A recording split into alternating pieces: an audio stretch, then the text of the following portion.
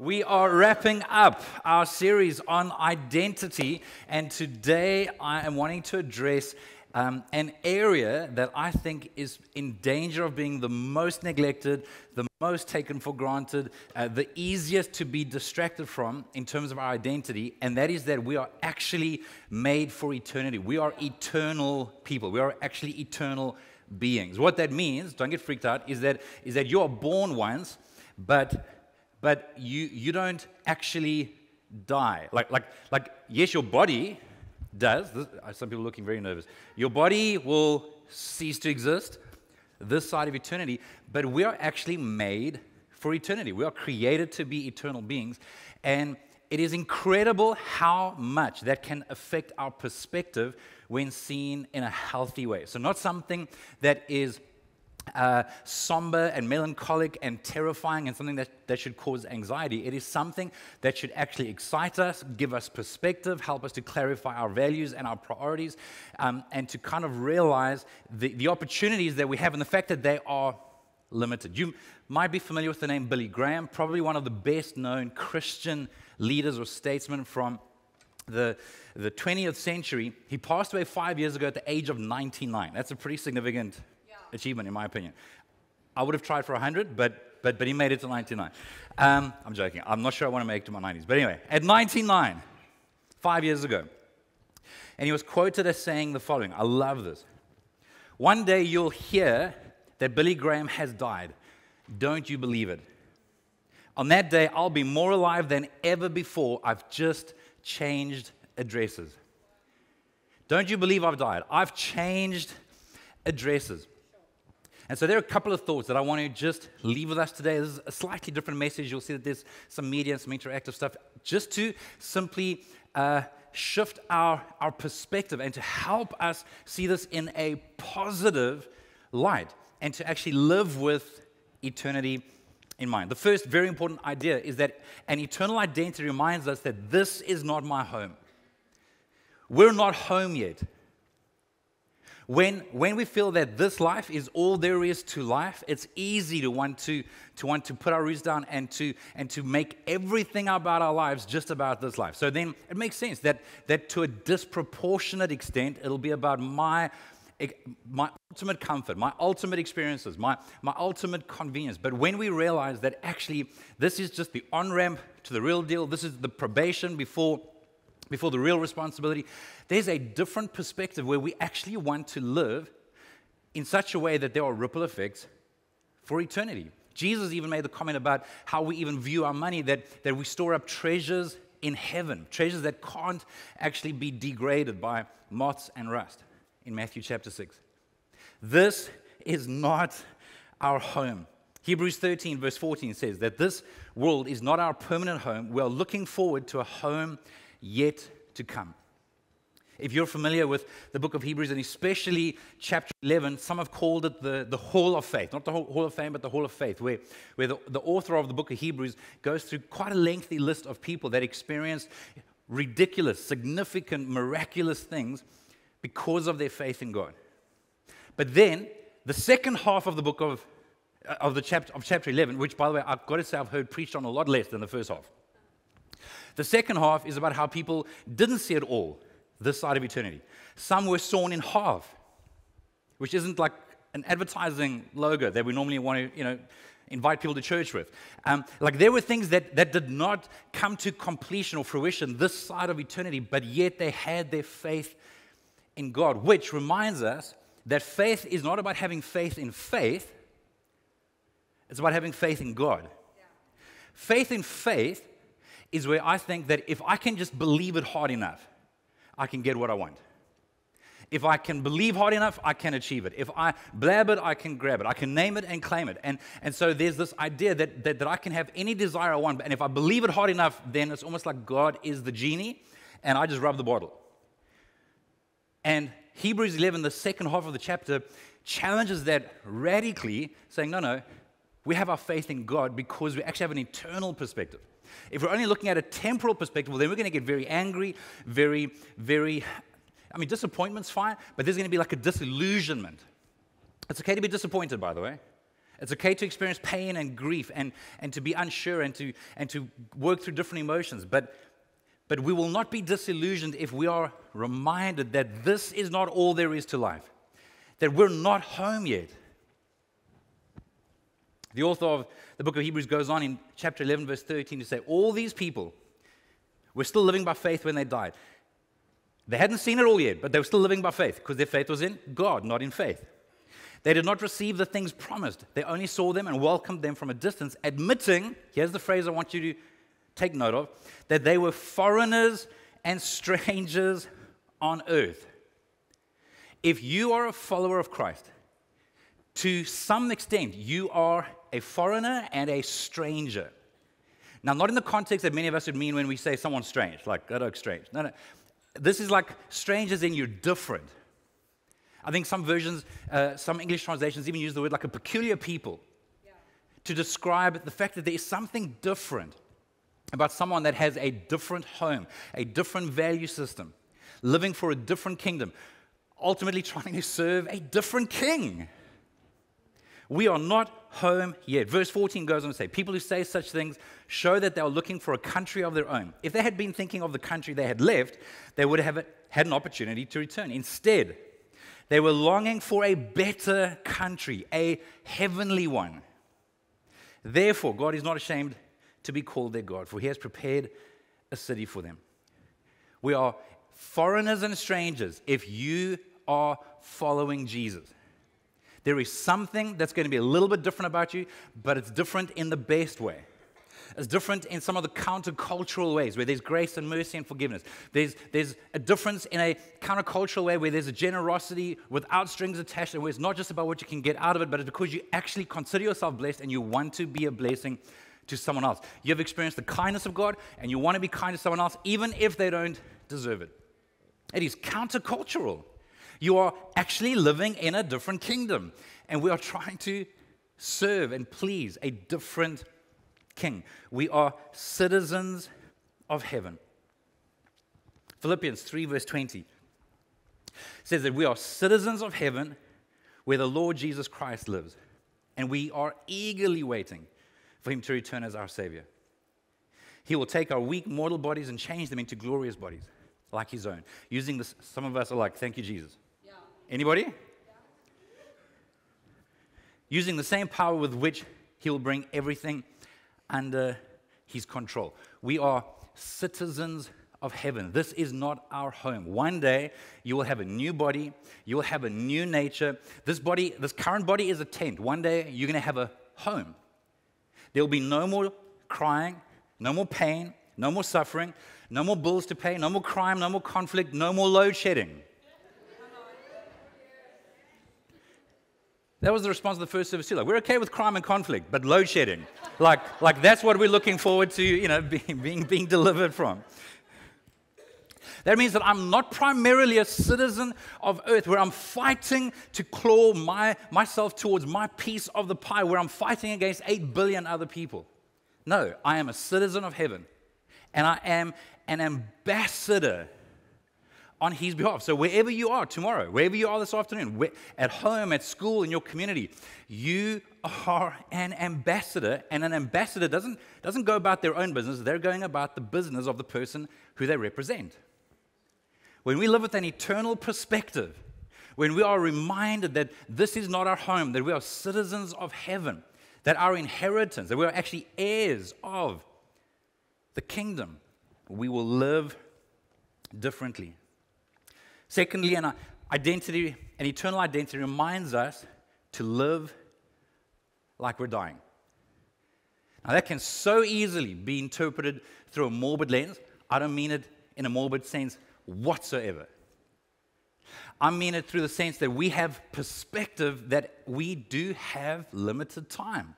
And I think the older that a person gets, much, much older than what I am, the more aware they become. That time is limited.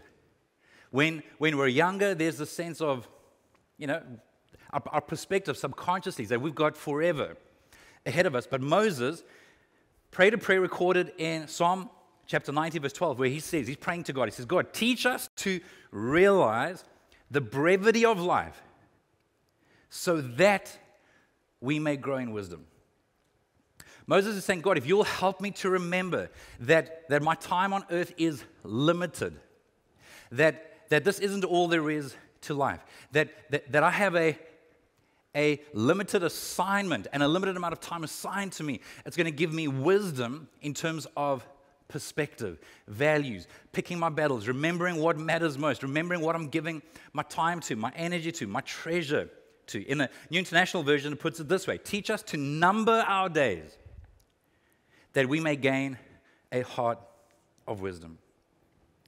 We will live wisely if we are, in a healthy, constructive way, reminded that our time is limited, that we actually want to live as, because you are dying, just so you know. Like, that's not a morbid thought. Like, like we're all moving towards the end of this life, right? Some of you are very young, and so that might feel like a far off. Some of you don't feel like it's that far away. And hopefully that's a healthy thought. Like,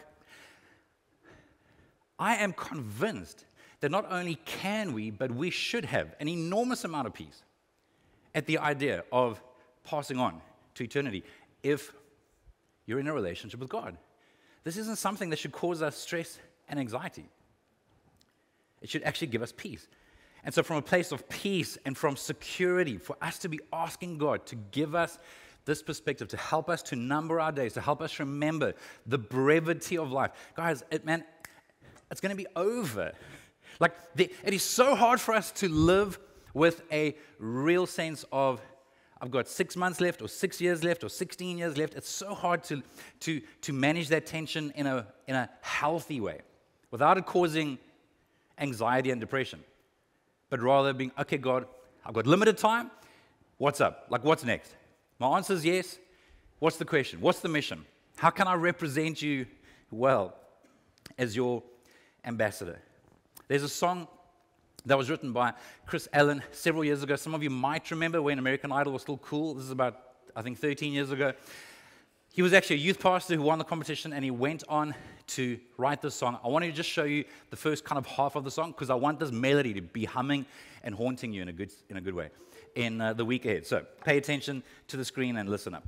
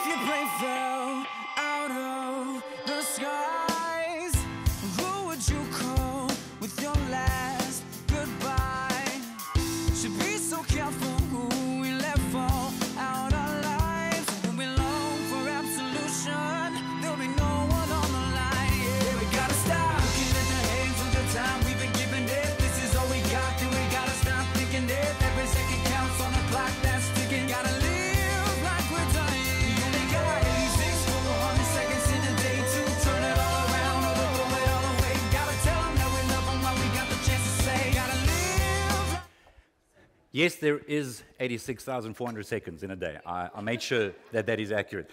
But, but what a great perspective for us to be, to be asking ourselves from time to time, again, without this being a heavy, dark blanket, but, but something that is a reference point. that gives us, gives us perspective. God, am I, am I living for what matters most?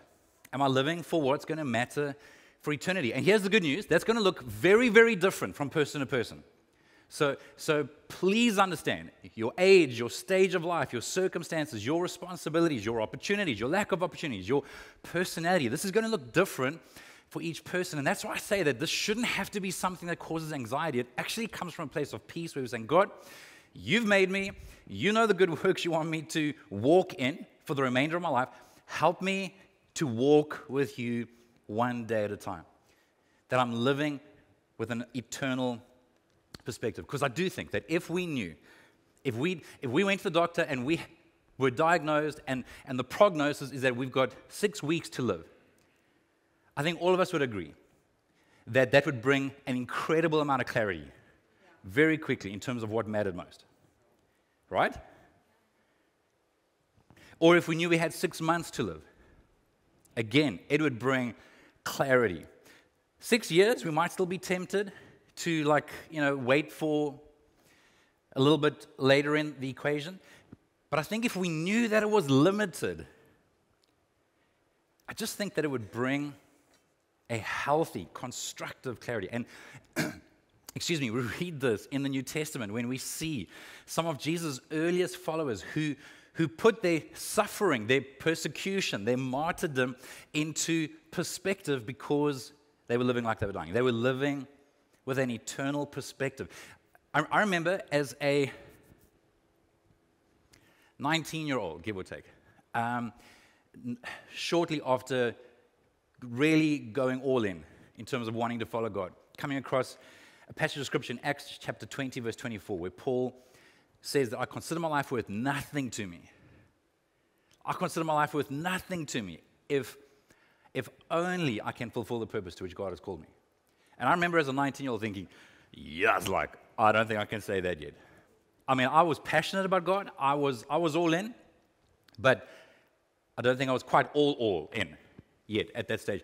And I'm saying, you look at a statement like that from a man who'd been shipwrecked multiple times, beaten and left for dead, imprisoned multiple times, whipped like Jesus was whipped, three, I think on three different occasions. This was a man that endured incredible persecution. And he's like, guys, I consider my life with nothing to me. If only I can fulfill the purpose which God has called me because he was living with an eternal perspective. He had a healthy identity in God. And again, he wasn't some hardcore, I think, depressive, melancholic martyr. I think that Paul was energized by the mission. We, we read another account in the New Testament where he's been arrested him and Silas have been beaten. They're, they're in prison. They're in chains. It's midnight, and they're found to be singing to God. Not singing some country western, you know, like, like my life sucks kind of. No, no. Like, like because there was an eternal. God, if you allow me to die now, I get to be with you. That's amazing. But I also want to finish the purpose for which you've called me, he says. So, like, I'm, like he uses language in the New Testament like, I'm torn. I want to go be with Jesus, but also, I also want to finish the, the purpose for which you've called me. Someone like that has got an energy, a drive, a chutzpah. That is not, that is not this, this dark, heavy cloud hanging over his head. He's like, in fact, in fact, it actually speaks of freedom. Paul was free. He's like, what's the worst you can do? Take my life? Go ahead. Seriously, that was Paul's perspective. The short letter in the New Testament to the Philippians was written by Paul from prison, where he keeps saying, Rejoice, rejoice in the Lord. Pray about the things you need. You can have peace in Him because he had an eternal perspective. There's another place in 1 Corinthians chapter 15 where he's basically saying, like, like, like don't believe these clowns who say that, that there's no eternity, that there's no resurrection, just eat, drink, and be merry. He's like, like, no, like, whoa, whoa, whoa. There is way too much at stake. In fact, it's actually in that context that he says a statement that is well known, where he says that bad company corrupts good character. That statement we use in many different contexts to warn people about their friends, but he's saying this in the context of don't you dare believe these clowns who are telling you that eternity isn't real and that the resurrection isn't real. He's like, no, no, this stuff matters. It matters couple of things that I think eternal perspective will do for us. It'll clarify our values and our priorities. It'll help us to see what matters most. It affects how we use our time and talents and treasure. Some of you are familiar with one of the parables in Matthew 25, where it's perhaps more famously known as the parable of the talents, where a master goes off and entrusts uh, different servants with different amounts of money to steward well. This is, this is a picture, Jesus said, of the kingdom of God. And then one day, the master returned and got them to give an account. And it mattered how they used what they had been given. Not how they used what they hadn't been given. No, no. Only how they used what they had been given.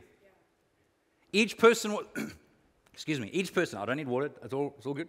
Each person was given what they, what they could appropriately be entrusted with. And all the master was getting them to do was to give an, was to give an account, a report of what they had been able to do with what they had been given. It increases the value of people and relationships. Because the reality is, the only, the only thing that you see, that you come across, that'll last for eternity is people. So it, it gives us perspective when it comes to people. It helps us to pick up battles. It helps us to want to be patient and kind and forgiving. It, it helps us to make sure that we're fighting the real enemy, who, by the way, is a spiritual enemy, not the person that you're getting angry with or frustrated with.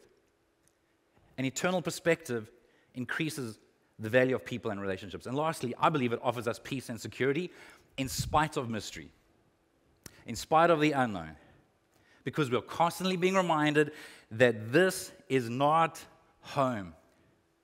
This is not home. And so, and so we, I am so mindful that so many people are, are having to endure suffering, pain, uncertainty, loss.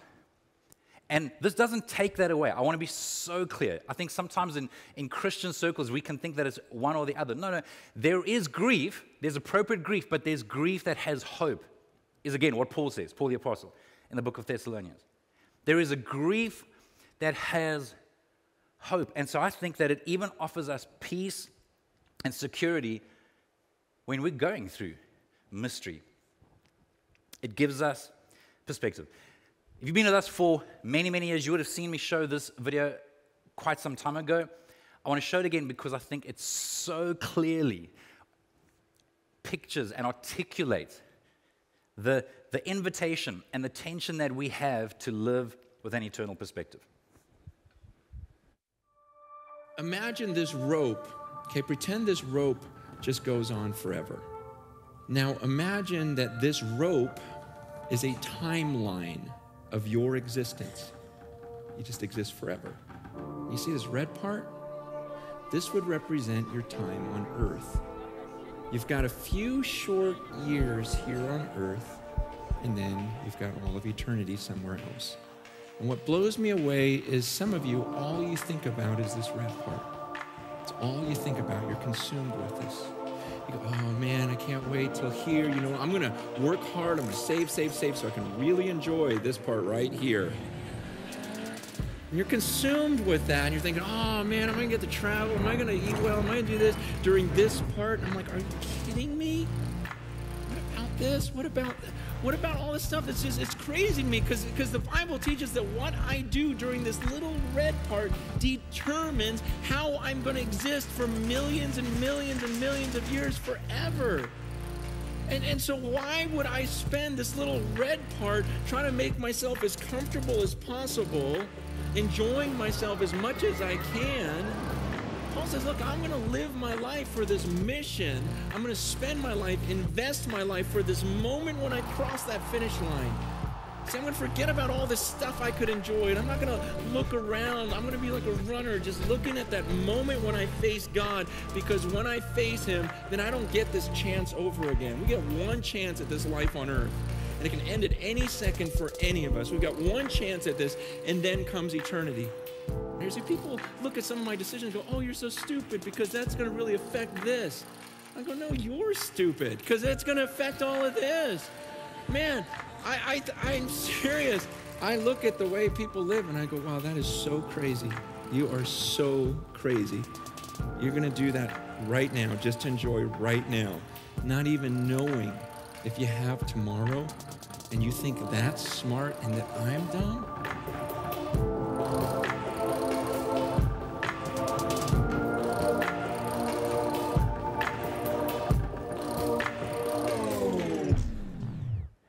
The late C.S. Lewis said that if you read history, you will find that the Christians who did most for this present world were precisely those who thought most of the next.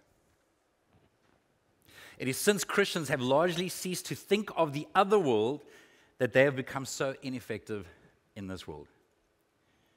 Living with an eternal perspective will help us to live as though we're dying. It puts things into perspective, it clarifies our values and our priorities. This is not our home. We want to live like we're dying. And lastly, an eternal identity encourages us that one day we'll be with our King. One day we will be with our King. And I'm so aware, and I say this sincerely and with great compassion and hopefully encouragement, that for many of us, that's not amazing news. That doesn't, that, doesn't, that doesn't excite us about eternity. But I want to encourage you that if you stay on the journey that you're on in terms of your relationship with God, I promise you that you'll become increasingly excited, increasingly grateful, increasingly peaceful at the idea that one day you're actually going to get to experience the, the unadulterated, unfiltered, full on presence of Jesus. Not only will there be no more tears, no more pain, no more corruption, no more crime, we will experience and be in the presence of perfect love, perfect knowledge, perfect community. It matters. It matters. Every wrong will be made right. Every tear will be wiped away, and we will live with our Savior in the new heavens and the new earth. Some of you might have heard of Timothy Keller. He pastored Redeemer Presbyterian Church in Manhattan, in New York City, for many, many, many years, written some wonderful books.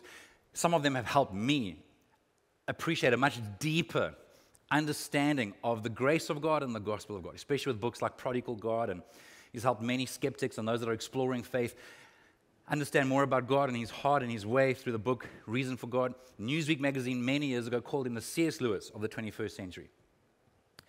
He retired from, the, from full time ministry a couple of years ago. He's 72 and um, has been battling cancer for, I forget if it's the last 18 months, give or take.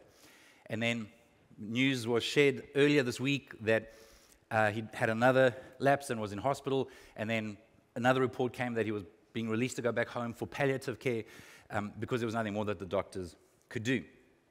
And he was quoted by his son as, as basically encouraging his family, like, it's, like, let him go. and his words were this I can't wait to see Jesus. I can't wait to see Jesus. For some of us, that just sounds nice. But for someone that has been growing in receiving and giving love to God for decades and decades, I promise you it is possible for you to be at a place in your life where you're like, I can't wait to see Jesus. The reason why I think this is so hard for many of us to imagine is because we live lives that are so distracted, so uh, like watered down through, through various ways of medicating and, and numbing ourselves. And, and so, again, that's not my focus. My focus is to encourage you to say it is possible to live in a relationship with God where you're saying, I can't wait to be with Him. I trust Him. I can't wait to be in eternity. I, I don't want to go beforehand. Like, I love my people, I love my family, I love the community, I love His cause, but, but you're never going to see it as a downgrade. You're never going to see earth as the ultimate. Our best day on earth, your best day, the greatest sense of peace, love, joy, your best day on earth is nothing compared to the most, if, there is no jury day, but to the most ordinary day in eternity. It cannot be compared. No eye has seen, no mind has conceived what it is to be with Jesus.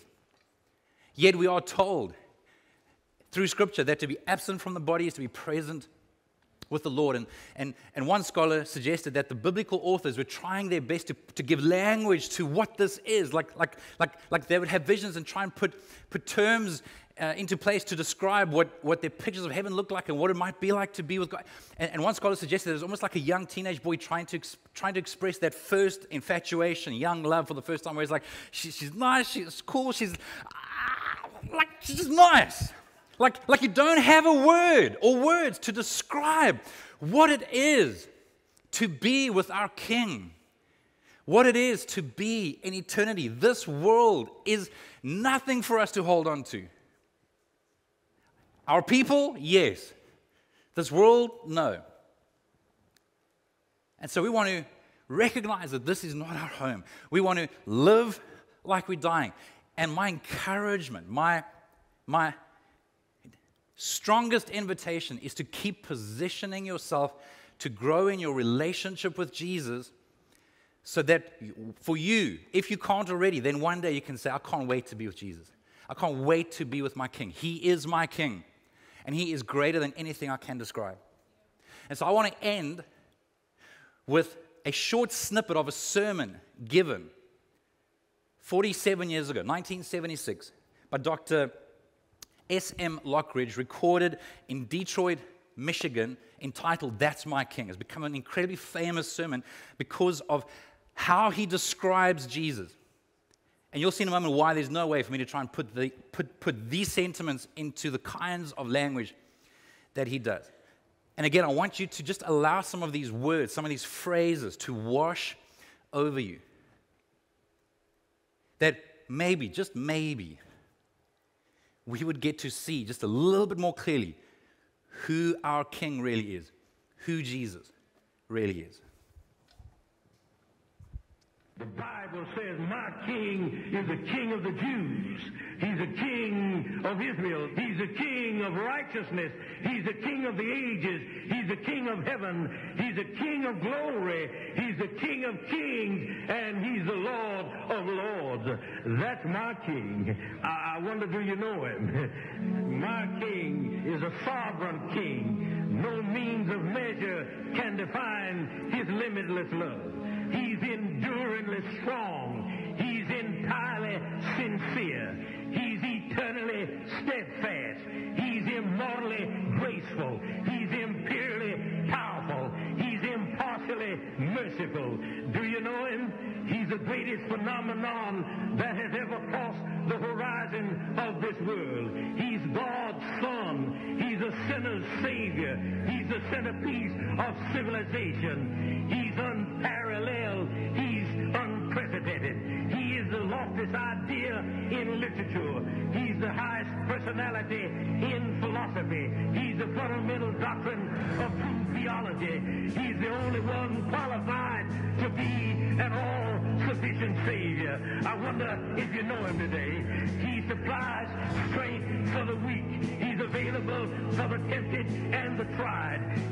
sympathizes and he saves. He strengthens and sustains. He guards and he guides. He heals the sick. He cleanses the lepers.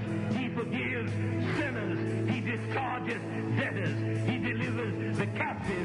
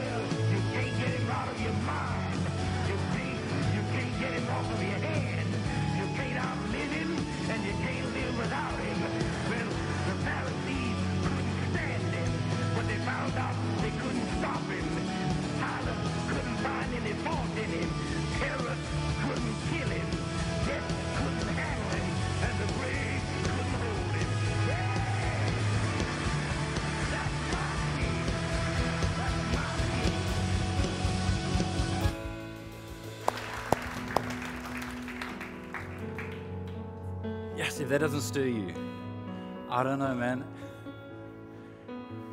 And when he says he can't describe him, I'm like, well, you've done a pretty good job. He is indescribable. And I would say that for some of us, if only you would know how good God is, eternity wouldn't be something that we fear. Living as though this isn't our home, as though we're living with eternal priorities, we'd be okay with people thinking we're strange, thinking that you're unusual. You'd be motivated to keep living as though you're dying. Can I encourage you to stand for a few moments? Just to close your eyes. As is often our custom, just as a posture of humility, if you're comfortable doing this, open your hands, just in a posture of surrender. Because I do hope that in this moment, there might be something that God's Spirit is just wanting to whisper to you. An area of perspective that He's giving you, an encouragement an invitation. I, actually have a sense that there's some people here where God is wanting to encourage you so uniquely by saying, This is you. You are living with this eternal perspective. Don't believe the lies. Don't get discouraged. Don't get distracted. This is all going to make sense in eternity. This is right. This is right. I am pleased. If that's you today, I want you just to receive that, just to allow God's word to encourage you to breathe fresh energy into your lungs, to strengthen your weak knees, to allow you to stretch out your tired hands one more time as Hebrews 12 says, and to actually straighten, make simpler a path that other people that are handicapped are coming on after you. And because you're enduring some of the pain, because you are pushing through some of the some of the potholes and some of the and having to make some of the, the construction and having to level some of the hills and fill up some of the valleys, you're saying you're going to make it easier for people that are weaker to come after you. It's okay. Don't feel alone. This is right. You might feel completely alone. You might feel like no one else understands that sense of burden and vision and perseverance. It's okay. This isn't home. You are a stranger. You are a foreigner. You are living for a different king. You are living like you're dying.